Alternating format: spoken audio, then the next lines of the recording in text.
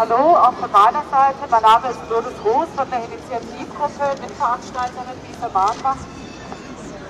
Wir setzen uns ebenso entschieden ein gegen das Arbeits- und Ausbildungsverbot, gegen das Arbeits- und Ausbildungsverbot für Afghanen und alle anderen Flüchtlinge, die abgelehnt werden.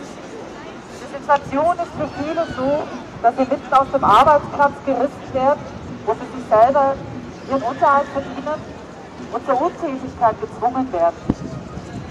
Für die Jugendlichen, die in vielen Bildungsmaßnahmen, zum Beispiel auch bei der Schlauschule, aber auch bei uns sind, ist die Situation unerträglich geworden. Sie machen diesen Mittelschulabschluss, lernen Deutsch unter schwierigen Bedingungen innerhalb von zwei Jahren die Sprache zu lernen und einen Schulabschluss zu machen, ist eine große Herausforderung, für die sie alles gibt. Und dann stehen sie da, haben den Ausbildungsplatz und ihn nicht antreten, weil sie abgeschoben werden sollen.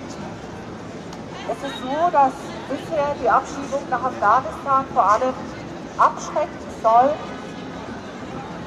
Das ist fürchterlich, aber auch für alle, die hier bleiben. Es ist eine absolute Einbahnkasse in, in, in Angst, in Untätigkeit und in Verzweiflung. Die Selbstmordraten sind sechsmal höher als bisher bei den Geflüchteten. Die Selbstmordversuche ebenfalls.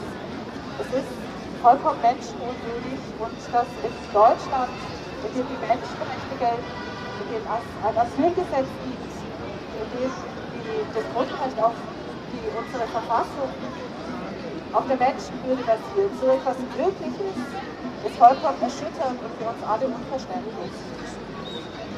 Wir freuen uns, dass so viele von Ihnen gekommen sind, um dieses Entsetzen zu teilen.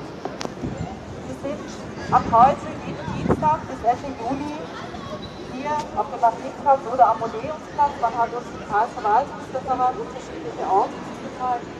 Wir haben die Liste erhalten, wo Sie hier sind. Wir freuen uns, dass Sie mit uns hier dabei sind und auch Ihre Netzwerke, Ihr Umfeld mobilisieren, damit der Widerstand lauter Es darf keine Abschiebungen geben.